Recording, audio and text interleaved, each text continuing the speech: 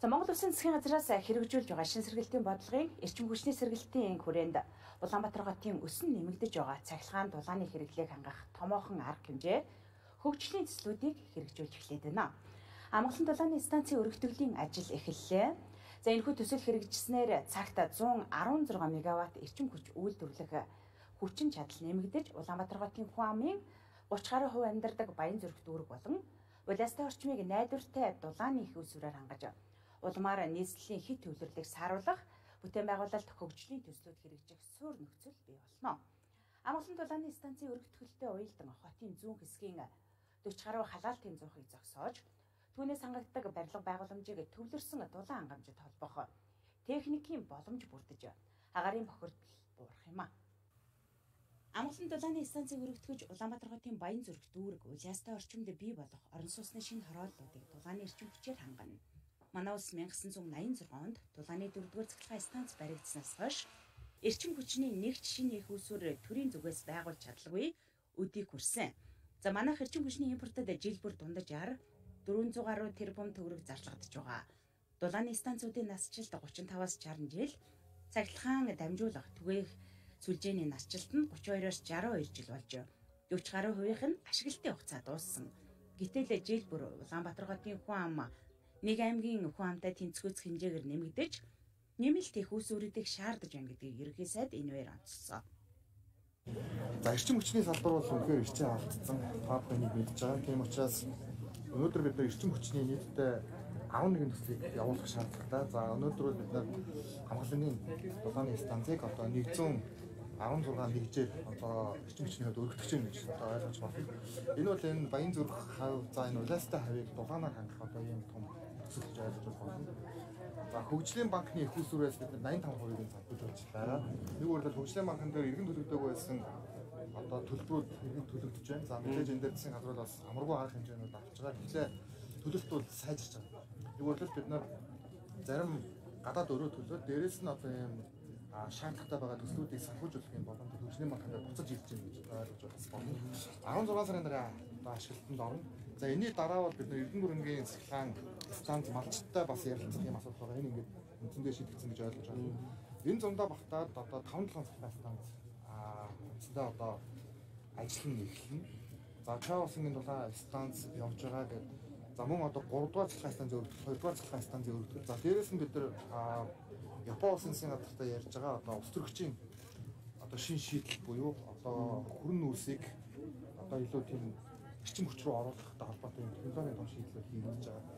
За бөөлжүүдийн цахилгаан станц явж байгаа гэдэг эдгээр төслүүд бол одоо энэ зундаа бүгд багтаж ирэх гэсэн. Шин нэмэгдэж байгаа хэрэгцээг эрчим хүчний хэрэгцээг хангах зорилгоор шин сэргээлтийн бодлогод 5 зорилтыг дэвшүүлж энэ 5 зорилтыг хангахын тулд 25 төсөл арга хэмжээг хэрэгжүүлэхэд тусгацсан байна.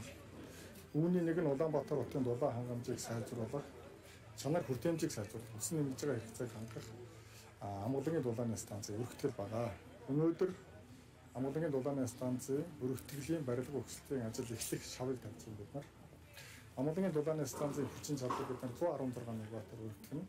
Амгалангийн дулааны станц өргөтгөл хийгдснээр за мэдээж хэрэг Улаанбаатар хотын зүүн тал байрлалтай өсөн нэмэгдэж байгаа дулааны эрчимчдийн хэрэглээг хангах боломжтой болно.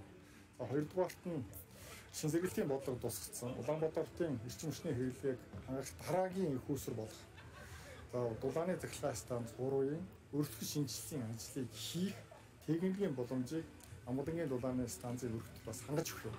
Өөрөөр хэлбэл дулааны захилгаан станц 3-ыг өргөтөхөд одоо байгаа хэрэглээг нь хэрхэн шийдэх гарцс бол Амгалангийн дулааны станцын өргөтгөл байгаа.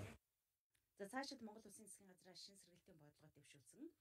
Эрчим хүчний сэргэлтийн хүрээнд сэргээгдэх эрчим хүчний их ус өрүүд түүний дотор усан цахилгаан станцыг нин тэргүүний зорилт болгож Эрдэнэ өрөнгөний усан цахилгаан станцын бүтээн байгуулалтыг дуусгаж эгийн голын усан цахилгаан станцыг эхлүүлнэ.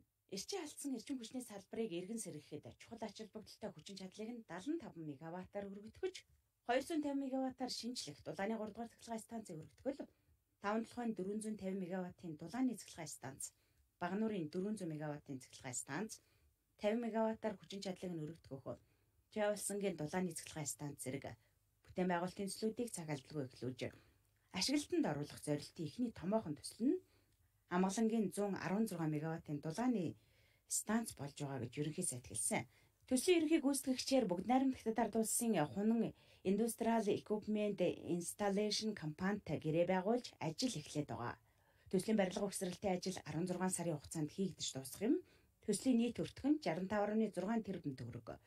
Амгалан дулааны станцын өргөтгөл шинжилгээ ажил хийгдэж суйрлагдсан хүчин чадал нэмэгдснээр 7 сургаал 7 цэцэрлэгийг төвлөрсөн дулаан хангамжид холбоно. Мөн Улаанбаатар хотын Баян зүрх дүүрэг улаастай орчмын дахин төлөвлөлтийн хүрээнд бий болгох орон сууцны шинэ хорооллуудыг дулааны эрчим хүчээр хангах бөгөөд их усүр хооронд ачаалал шижүүлэх боломж бүрдэнэ.